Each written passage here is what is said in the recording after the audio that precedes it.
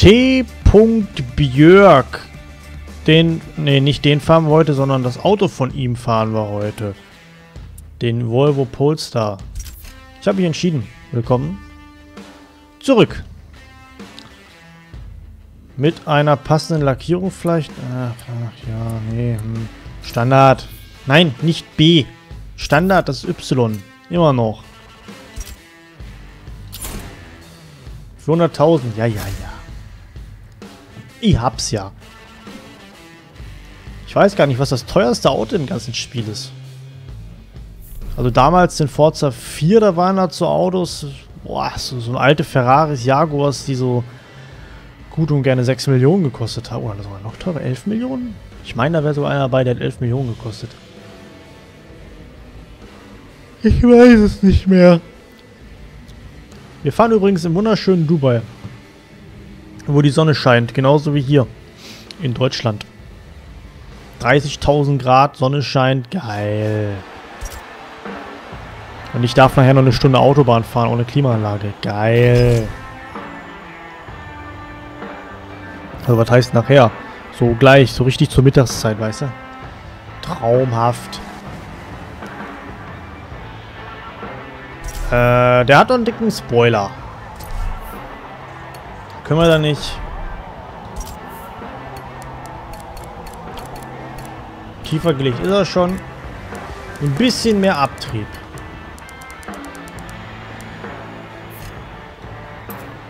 Der hat sogar vorne... Ah ja, der hat Spoiler-Level vorne. Das ist schön. Gut. Zwei Runden Dubai. Irgendwo in der Wüste. Wir fahren nach Jabal Aldi. Kann nichts dafür, dass das so heißt. So, erstmal schön an allen vorbeifahren, linke Seite. Oh, ist das Reverse? Das ist Reverse, alles klar. Erstmal wieder umgewöhnen. Äh, Jungs, mach doch mal, mach doch mal Licht an. Ich sehe nix. Ich habe die Autos nicht gesehen. Ich habe da nur so schwarze Silhouetten erkennen. Warte mal, fortsetzen.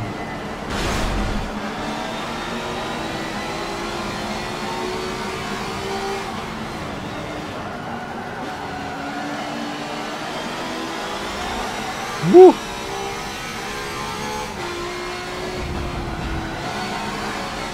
Oh.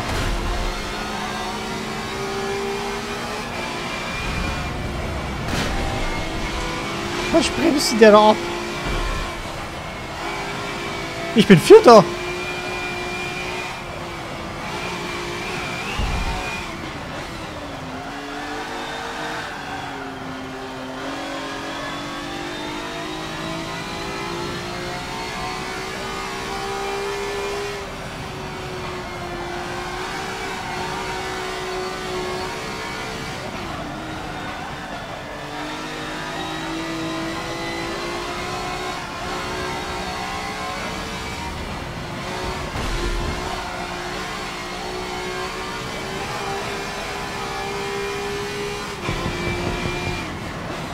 Oh, der war zu spät, der war zu spät.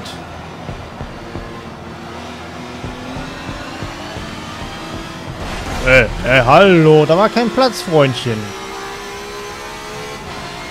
Oh, nee, und jetzt kommt dieser Scheißsektor hier. Oh, shit, das war, das war nix. Oh.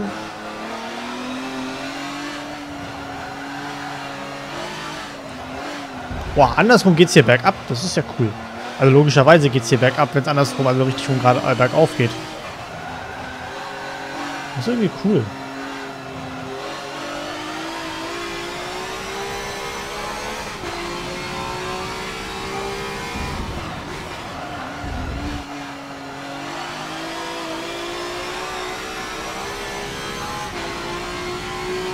So, jetzt Vollgas.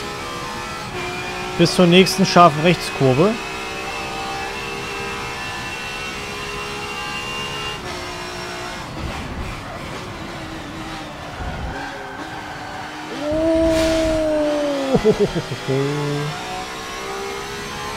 Also rückwärts ist die Strecke echt cool.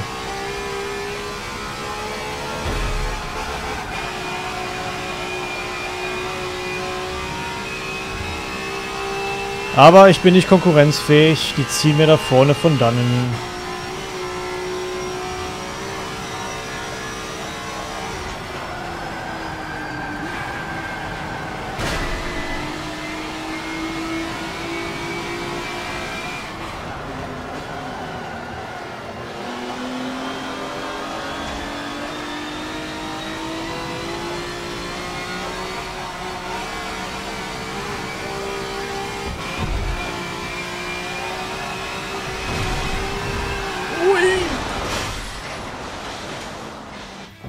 Ja. Da hat's Peng gemacht. Zu früh eingelenkt. Hallo. Zu früh eingelenkt. Man soll ja auch nicht einlenken, wenn rechts vor die Wand ist. Das ist, das ist ungesund.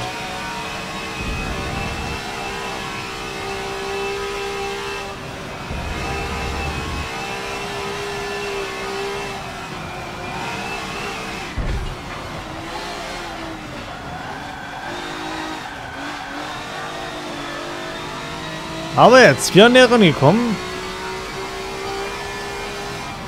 Muss ich den Trend nur aufrechterhalten. Irgendwie.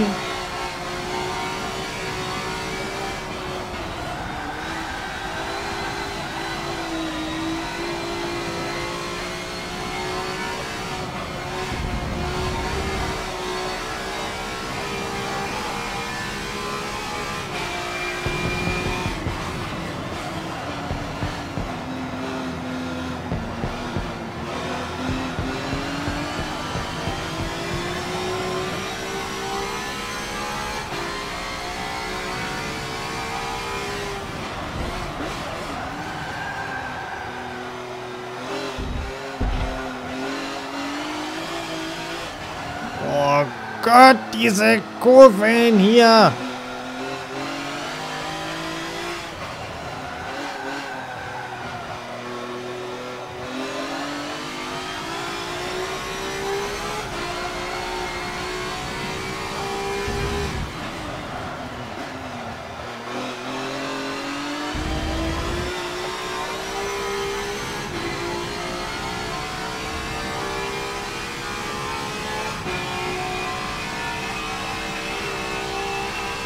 Muss es noch irgendwie zaubern, wenn ich da noch vorbei will.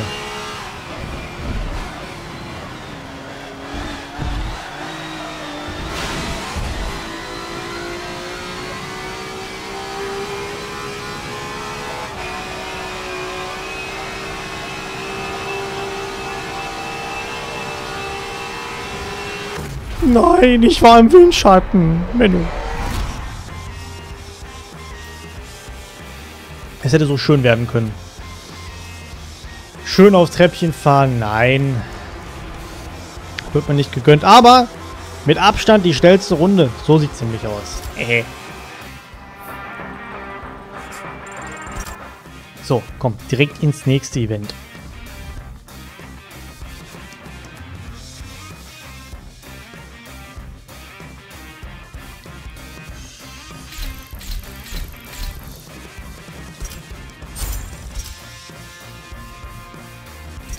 Gib mir Geld, gib mir Geld.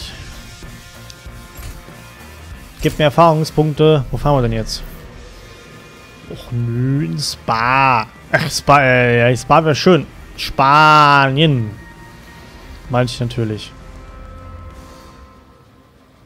Ich bleib bei dem Volvo, der ist schön.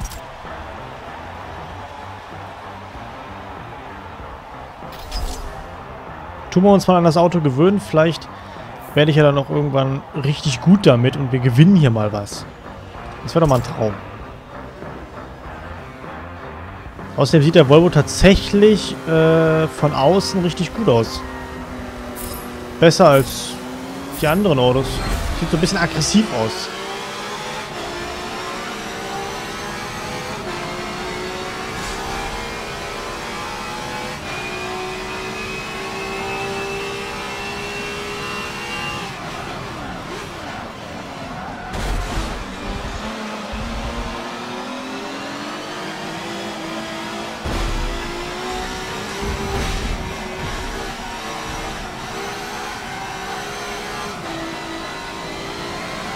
So, direkt auf die 6 da vorne. 7, 6. Ach, da ist noch einer.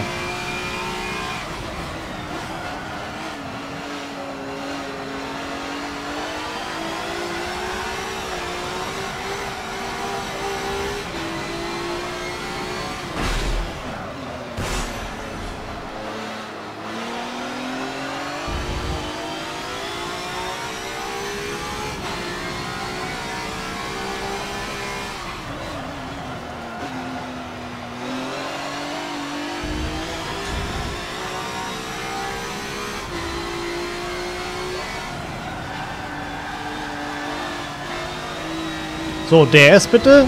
Ah, nee. Geht nicht mit den Flügeln. Wobei, das geht theoretisch schon, aber...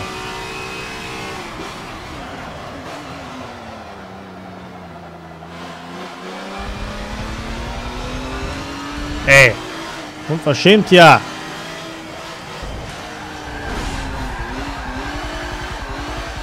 Mein sechster Platz. Äh, fünfter Platz.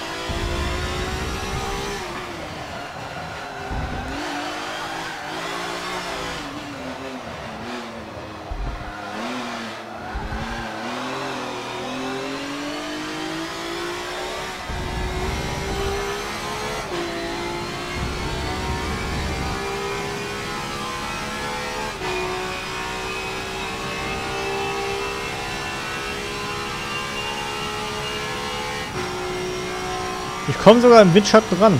Trotz der steileren Flügel, die ich eingestellt habe. Das ist schön.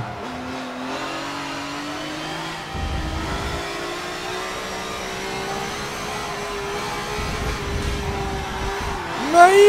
Uiuiui. Hi. Ach ja, diese Zurückspulfunktion. Ein Fluch und Segen zugleich.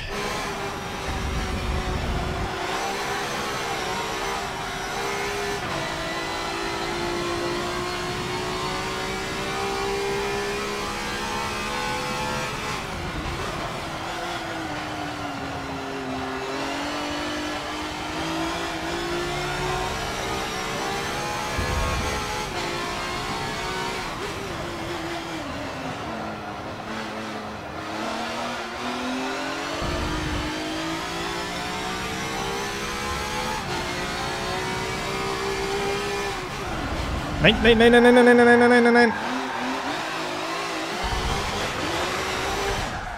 Och Mann!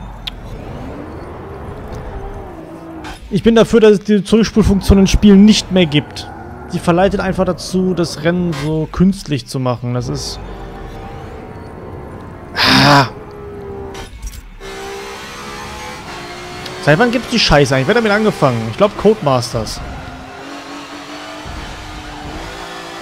Als ich Forza 3 und 4 gespielt habe, gab es alles noch gar nicht. Da musstest du erst entweder Pech gehabt oder du musstest neu starten, wenn du unbedingt gewinnen wolltest oder sonst was. Ich glaube, in 5 hat das dann Einzug genommen. Codemaster hat das, glaube ich, schon in Grid damals eingeführt. Wie gesagt, es ist ein Segen und ein Fluch zugleich.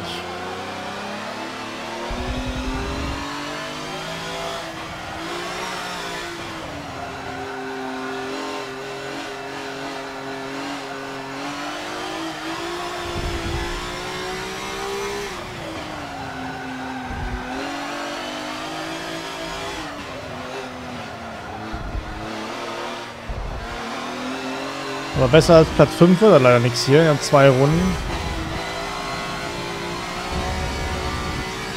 Aber dafür sammle ich perfekte Kurven ohne, ohne Menge, äh, ohne, ohne Menge, ohne, äh, ohne Ende.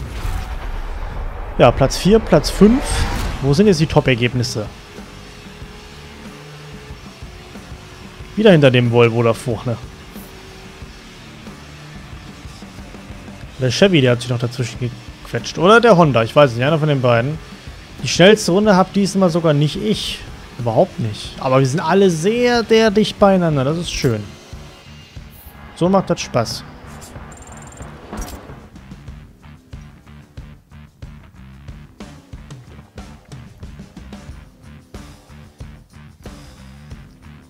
Und ich muss ganz ehrlich sagen, ich weiß nicht, ob ich längere Rennen fahren würde, wenn ich das nicht aufnehmen würde. Viel Konjunktiv, ich weiß. Gehört dazu. Also ich mache das ja jetzt in erster Linie, weil damit, äh, sonst haben wir wieder nur ein Rennen pro Folge. Oder ich muss extrem lange Folgen machen, was auch wieder doof wäre. Ich sollte mal A drücken. Ich weiß aber nicht, wenn ich das Spiel für mich spielen würde, ohne Aufnahme, ob ich dann auch längere Rennen fahren würde oder ob ich dann einfach, ob ich das genauso machen würde. Das weiß ich nicht. Das ist komisch. Auf der einen Seite denke ich mir ja, der anderen Seite denke ich mir, nee, das dauert dann genauso lange. Da hast du ja auch irgendwie keinen Bock drauf. Ich weiß es nicht. Das ist, das ist komisch. Oh, Sonoma. Oh, Sonoma ist cool. Sonoma ist eine geile Strecke.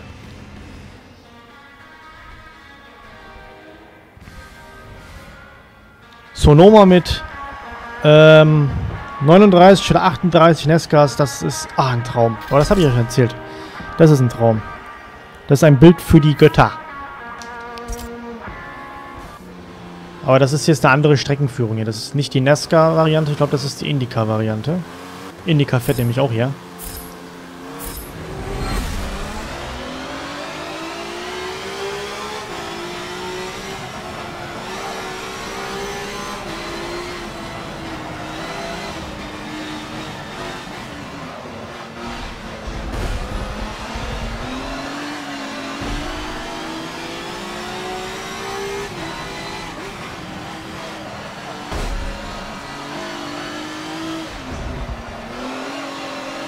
Genau, Nesca wird nämlich jetzt weiter geradeaus fahren.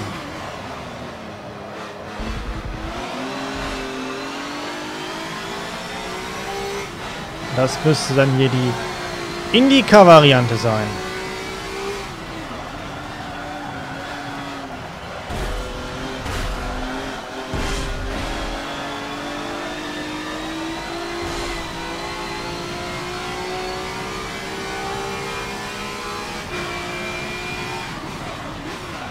Nescas wird dann einfach hier links wieder oh, von hier links reinkommen. Aber die Variante, die kennt er ja auch. Die kann man ja auch überall fahren. Und Nesca fährt dann hier Esses.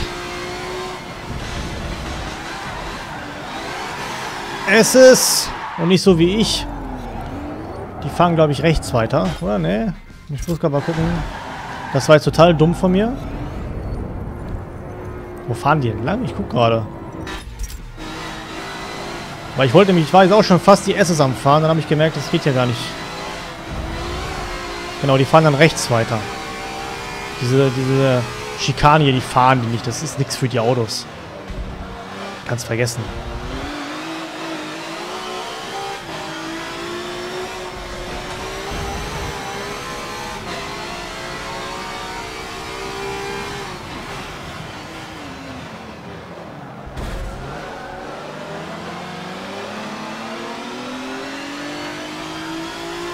Ja, ihr müsst euch vorstellen, auf dieser kurzen Strecke, weil die Nesca-Variante ist nochmal ein Stück kürzer, 38 Autos. Das ist schon krass. Und wir fahren hier schon mit 24. Nochmal 12 mehr. 14, Entschuldigung.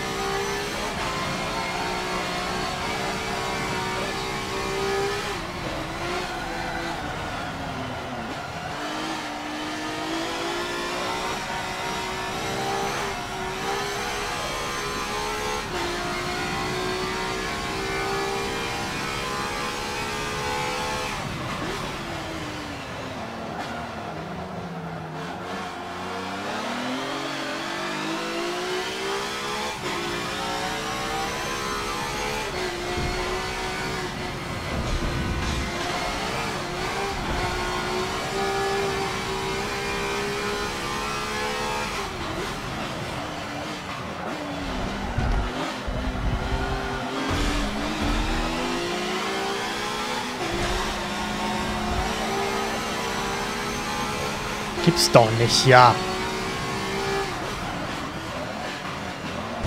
Oh, kann man mal rausschieben. Kontaktsport, das passt schon. Haben die im Intro sogar gesagt. Hier bin ich wieder Sechster.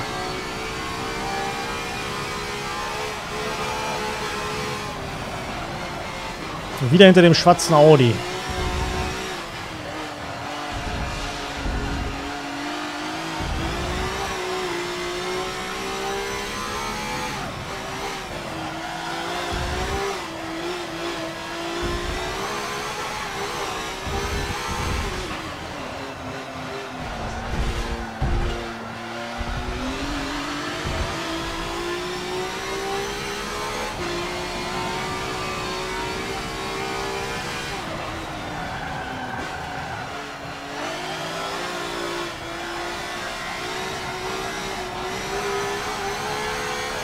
Und ich werde auch nicht weiter nach vorne kommen.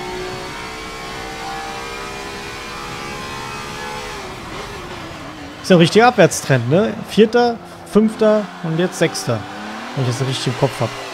Schon wieder vergessen.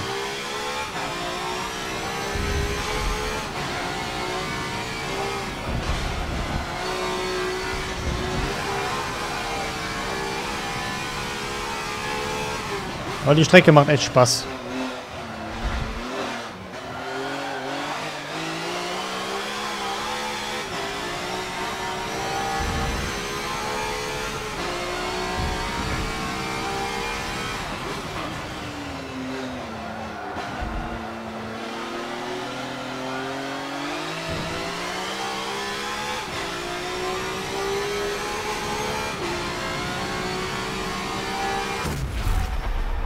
Ja, vierter, fünfter, sechster, wieder hinterm Audi, äh, hinterm, hinterm, hinterm Volvo-Teamkollegen in schwarz. Ich glaube, das müsste sogar Black White Bull sein. Äh. Gibt's doch gar nicht. Richtiger Abwärtstrend hier.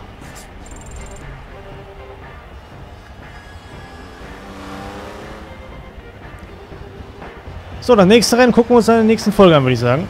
Und die nächsten beiden. Und dann haben wir die Serie auch quasi schon wieder durch. Aktuell liegend auf Platz 5. Ja, da muss noch was gehen. Ich hoffe, dass jetzt noch ein paar geile Strecken kommen.